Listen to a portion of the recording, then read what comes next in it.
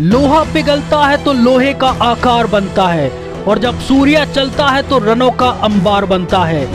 Wankhede stadium का ऐसा कोई किनारा नहीं, जहाँ सूर्या ने शॉट मारा नहीं। ना तलवार की धार से, ना गोलियों की बौछार से।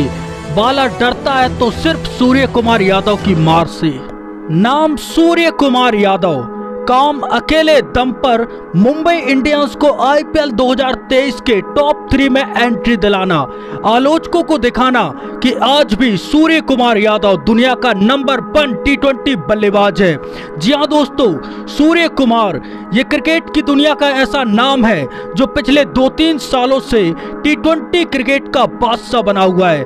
और दोस्तों, गुजरात टाइटंस के खिलाफ बीबो आईपीएल के 12 मार्च को खेले गए एक महामुकाबले में टीम इंडिया के सुपरस्टार सूर्य कुमार यादव ने तो मानो तहलका मचा दिया हो। बानखेड़े स्टेडियम में खेले गए बीबो आईपीएल के संतानवे इस मैच में जब ईशान किशन 31 और रोहित शर्मा उनतीस रन बनाकर आउट हुए तो गुजरात को लगा कि मैच उनकी मुट्ठी में है। लेकिन दोस्तों, सूर्य कुमार यादव ने मात्र उनचास गेंदों पे 103 रनों की शतकीय पारी खेलते हुए गुजरात टाइटंस के कप्तान हार्दिक पांड्या के चेहरे पर मायूसी की बौछार ला दी। सूर्य कुमार यादव की धाकड़ बल्लेबाजी के आगे गुजरात के गेंदबाजों की एक न चली।